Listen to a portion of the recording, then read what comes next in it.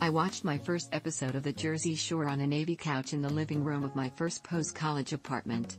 The unit number, 420, once made a blockbuster video employee snicker.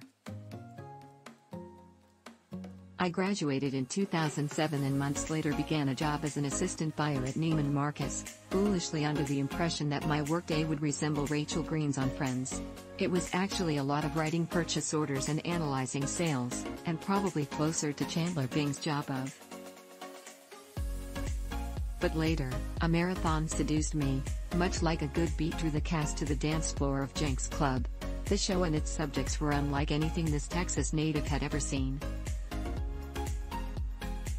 One cast member, Paul Michael Del Vecchio, aka Pauly D, had a tanning bed in his home and said he spent 25 minutes on his gravity-defying blowout.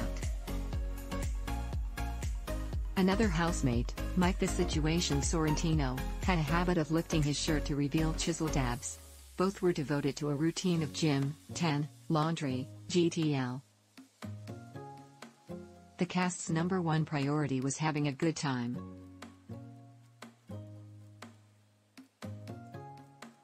In sharp contrast on an episode of its sequel, Jersey Shore Family Vacation last month, Jenni JWoww Farley addresses missing Pauly's DJ gig. Can you imagine driving all the way to Madison Square Garden and staying out past 9 p.m.? This is the same girl who declared on the original series Deb and by comparison, as a single woman without children who at times feels like her future is as mysterious as the blank page before you, it can feel like my personal life is at a standstill. Natasha Bedingfield talks unwritten revival on TikTok, plus her favorite Hills cast members Natasha Bedingfield on The Masked Singer, identities of Pepper and Jester are revealed young me, with more face collagen, added Jersey Shore to my lineup of reality TV, which included E! S Keeping Up with TH.